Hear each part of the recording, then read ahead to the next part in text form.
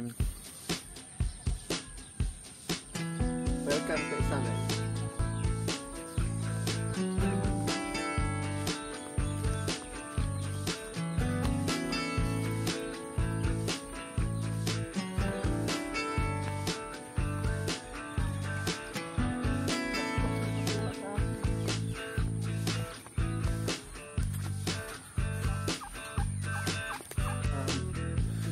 Po sa lahat. Welcome to my uh, YouTube channel, Pusang Ligalig.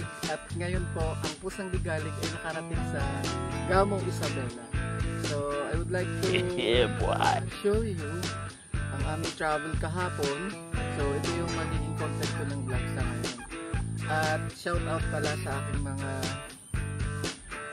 uh, subscriber at salamat at naka 1,000 subscribers ko po. So, marami pa akong papakita sa inyo ng mga exciting na place dito sa Gamo Isabel. So, don't forget to like, share, and subscribe.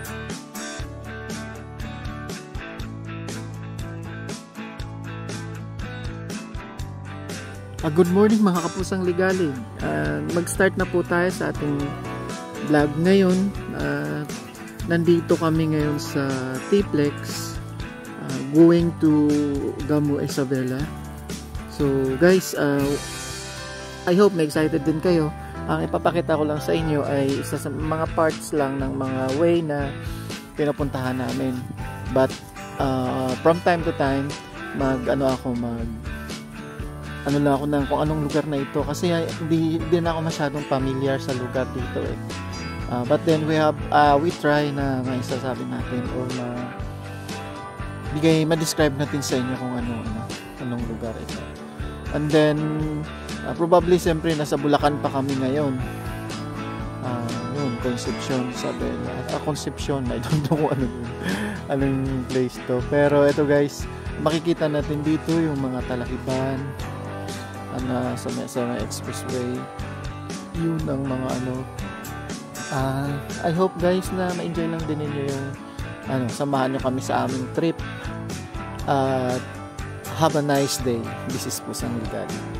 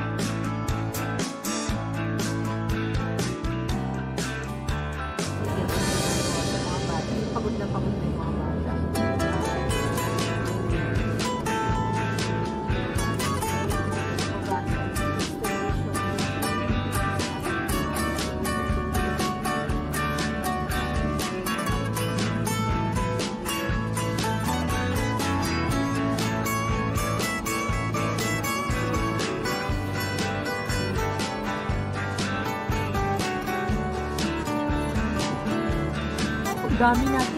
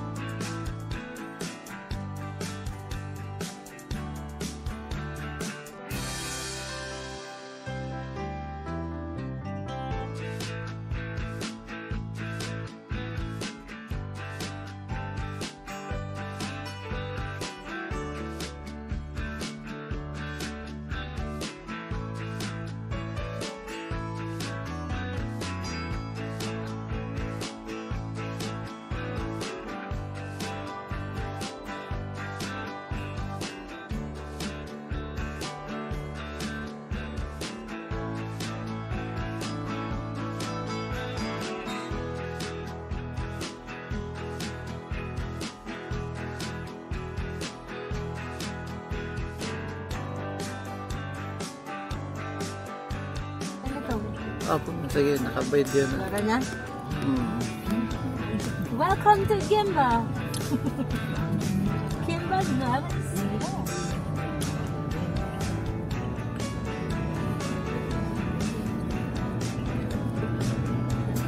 tayo ni Papa Dudok yung kapag sa aga.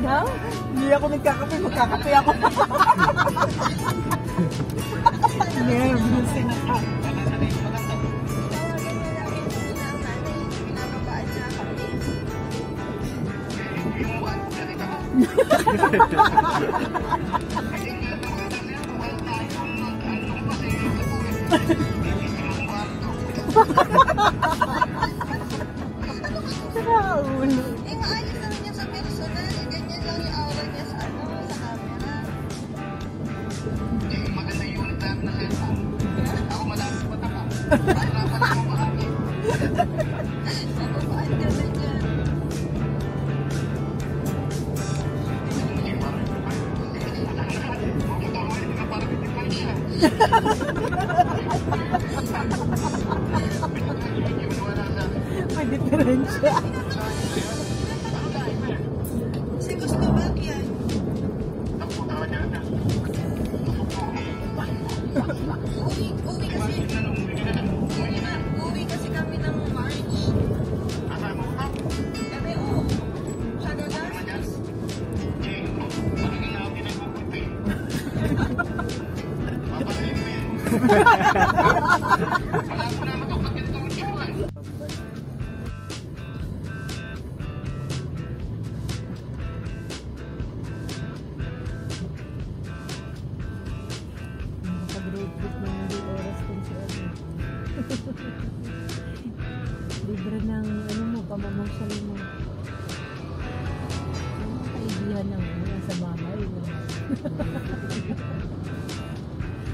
Hindi tayo pwedeng higitin.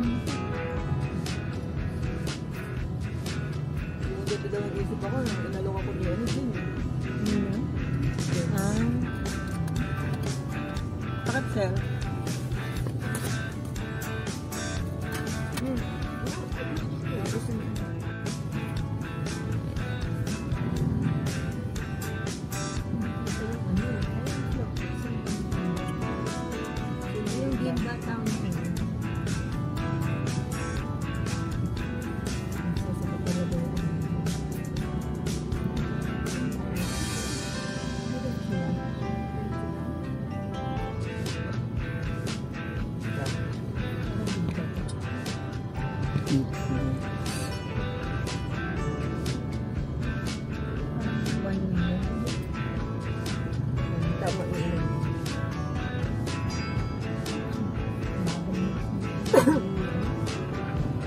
Parang walang kasi kumakaliwa doon.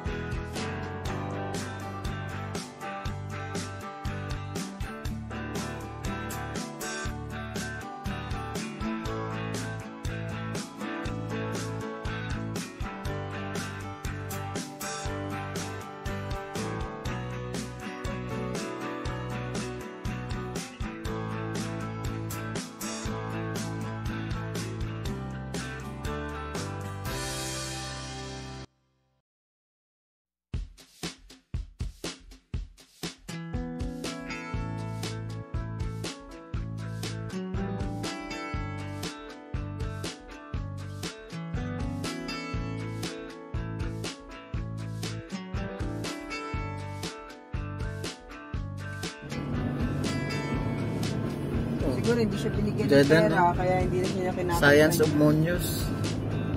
Sa inyo pala to. Sino, sino?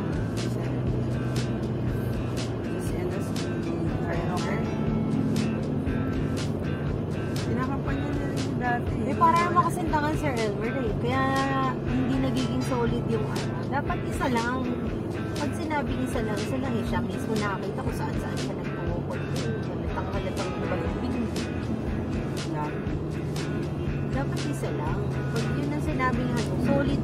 tayo, dun lang. Pongo siya. Nag-design si Pongo, di pa siya bibili.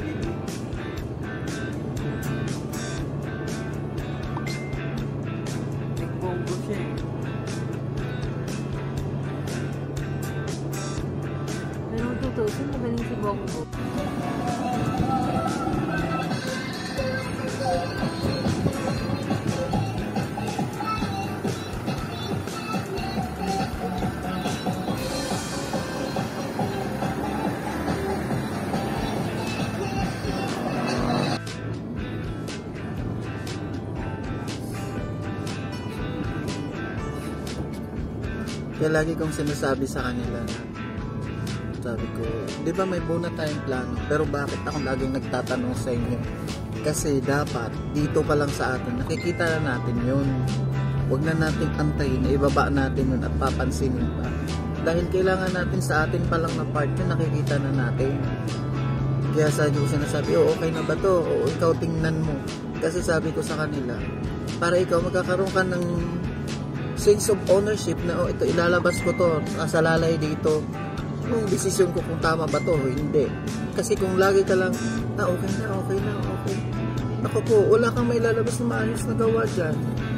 Sabi ko, tingnan mo okay na ba yan? Tama ba to? O ano pwede na. Sabi ko ko kaya, hindi mo kailangan ano yun kasi paglabas niyan dapat siguradong sigurado na tayo lagi ko silang na sabi ko hindi po Xiaomi din kasi ano. Maganda yung Redmi niya.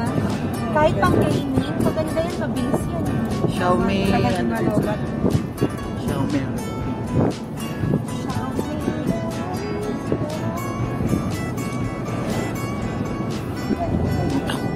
bakay na yung aking pagkamalat tayo akit bakay bakay na yung joke na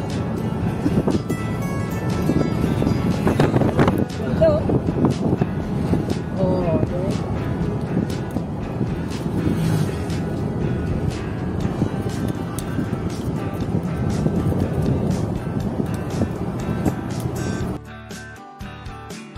Ah guys, nandito na po kami sa part ng Nueva Vizcaya. So, makita mo talaga dito guys, ah, pag pumupunta ka sa lugar na to, ang mga ano, mga talampas. Ang gaganda ng mga bundok, kaso lang wala lang siyang mga kahoy.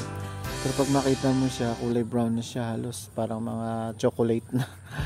So, yun yung ma-appreciate mo while riding your car na ang mga magagandang ano, magagandang ah, ano formation ng mga bundok. So, yun yung ano natin.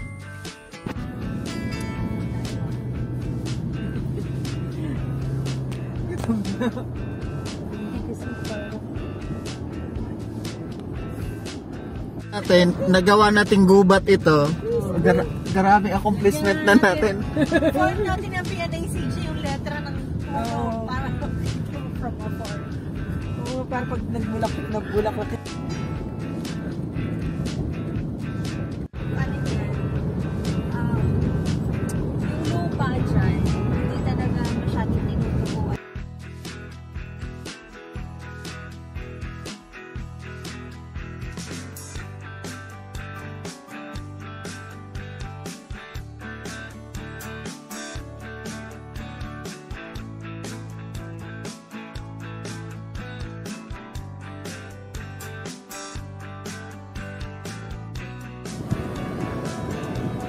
Ah guys, nandito po kami ngayon sa Taman.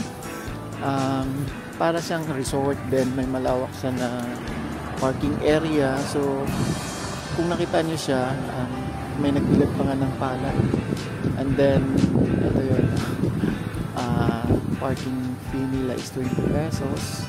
So, ito yung Taman BMPC or um, meron din ano tawag nito, ah, gasoline station. Ah, yung mga travelers na pwedeng magpahinga dito, pwede kasi meron siyang restroom. So, ang restroom lang, ang restroom is 10 pesos pag umihi ka. So, pag mag-jobs ka is 10 pesos. So, pero okay naman siya kasi malinis eh. Tapos malawak yung parking. Ah, ngayon guys, ano kami, ah, hanap kami lang ng makakainan. So, we will stop over muna dahil gusto namin mag-CR and kakain. And then we will proceed to our destination.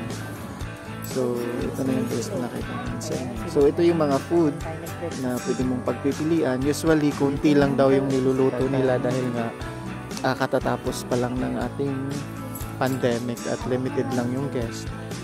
Kaya hindi sila ganun din karami yung niluluto nila and then hindi din talaga ganun karami yung tao. Akin.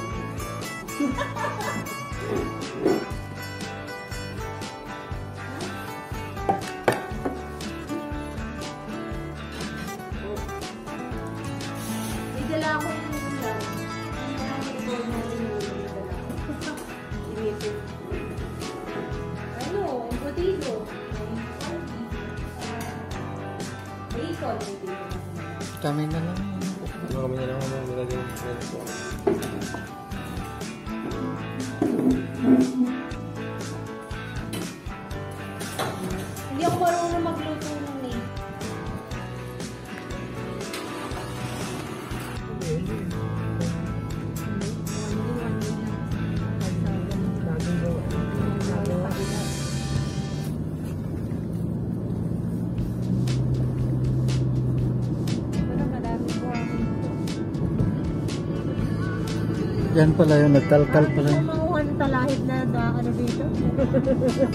Para sa decor natin, no? Pwede rin mo. Bababa lang. Baka may ahas.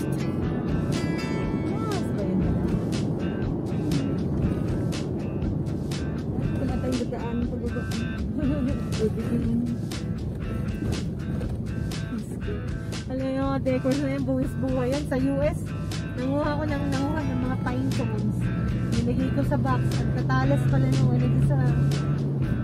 Ang lalaki pa ng ano doon sa US na yung... Nakita mo ba yung pine cone to? Mm. Ganito kalalaki. Yung katalas na nasa gilid. Nilagay namin nilagay sa box. Ah, mga kapusang ligalig, uh, minto muna kami saglit dahil uh, iihi lang daw si Jedan at may binili lang si Ma'am. Guys, nasa Isabela na ah, ah, Isabela, hindi Santiago pala, sorry. Nasa Santiago kami, siguro part ito ng Isabela. Hindi na ako masyadong sure pero malamang parang ganun na rin. Okay, watch and learn lang guys. So, tayo na. San? San? Nakahi ka doon.